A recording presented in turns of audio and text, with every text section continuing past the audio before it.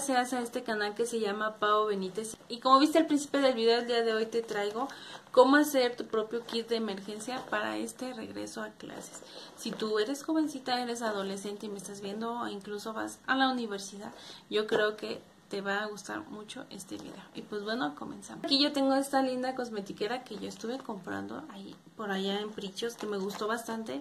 A mí no me importa que sea transparente por lo regular, pues casi siempre te recomiendan que utilices algo así como que mm, que no se vea, para que no se vea lo que es, pues lo que traes dentro. Realmente a mí no me importa, como quien dice. Yo creo que pues somos mujeres y no pues no tiene nada de malo lo que viene adentro, pero pues si lo necesitas, o sea, si vas a usar alguna de estas cositas, la traes en tu mochila, simplemente la sacas, vas al baño y lo primero que tú tienes que traer en ese kit de emergencia para este regreso a clases es papel de baño, no te puede faltar el papel higiénico. Si tú quieres Kleenex, pues Kleenex, pero yo para mí creo que un paquetito de Kleenex no me alcanza para ir al baño. Obviamente sí para sonarme la nariz, pero por ejemplo, te imaginas si tú te andas del baño y en los baños a veces no hay papel. Entonces, pues si te hace falta, obviamente en tu kit de emergencia siempre tienes que traer papel higiénico. Otra cosita que tienes que traer siempre en tu kit de emergencia es una toalla sanitaria, porque esto, o sea, esto es de cajón que siempre tienes que cargar tú, porque a lo mejor, no sé, y más si eres irregular, yo soy muy irregular, y cuando somos bien irregulares no sabemos cuándo va a caer, o simplemente por emergencia, o tal vez a lo mejor a lo mejor hay alguna amiga que le pasa y pues tú traes de ahí y puede ser su salvación. Es muy importante traer una toalla sanitaria en tu kit de emergencia. Igual, otra cosita que para mí es muy importante, discúlpenme, discúlpenme por ahí el cabellito, el chipotito. Y otra cosa muy importante para nuestro kit de emergencia es un desodorante porque no falta y yo creo que nos pasa a todas, a veces nos acaloramos bastante y ya nos sentimos húmeda y pues no queremos oler mal, así que está, les recomiendo mucho, de preferencia traigan uno chiquito. Otra cosita que es indispensable en tu kit de emergencia es un polvo compacto que traiga de preferencia espejo para que no estés cargando las dos cosas sueltas, un espejo súper básico y el polvo también porque nada más te das una manita de gato y quedas lista para no andar brillando. Que tu carita no ande brillando.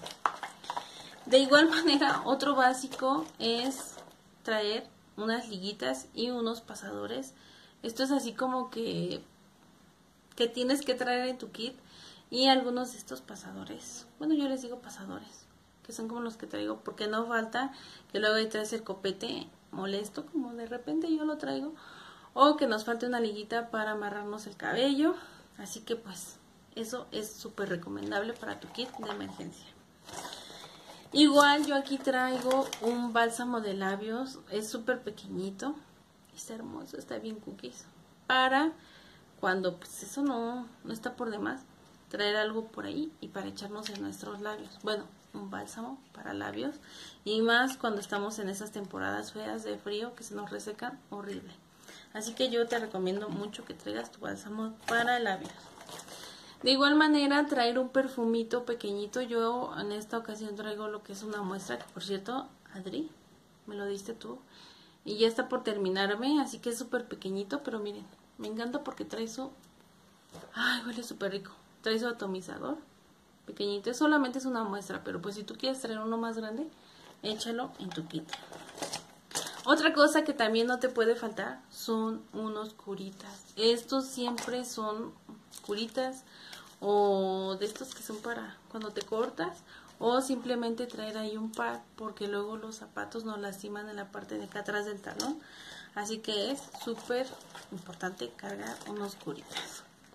Otra cosa que igual les recomiendo mucho que traigan en su kit de emergencia es una pasta de dientes de estas de tamaño de viaje con un cepillo de este que son portátil que son súper pequeñitos, que son compactos, que caben donde quiera, con tu pasta de dientes mini, porque esto, pues cuando terminas de comer, no es padre traer el mal aliento, entonces eso es así como... E incluso si a ti te gustan más las pastillas o los chicles de menta, puedes cargar pastillas o chicles. A mí se me hace como que un poquito más importante cargar lo que es una pasta pequeña y un cepillo de dientes portátil, siendo que es así como que te...